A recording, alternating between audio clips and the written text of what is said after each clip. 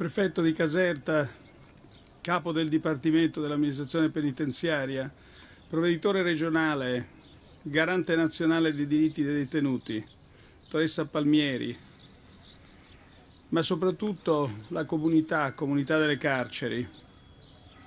Oggi non siamo qui a celebrare trionfi ma, o successi, ma piuttosto a, ad affrontare le conseguenze eh, delle nostre sconfitte.